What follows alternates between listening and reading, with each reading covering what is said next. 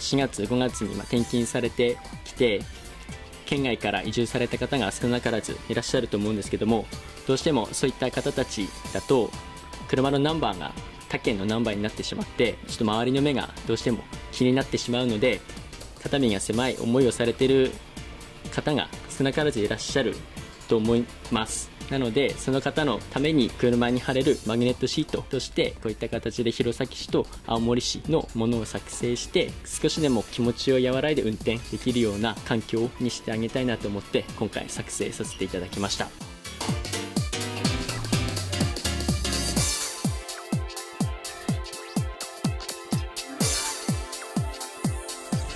コロナに負けるな。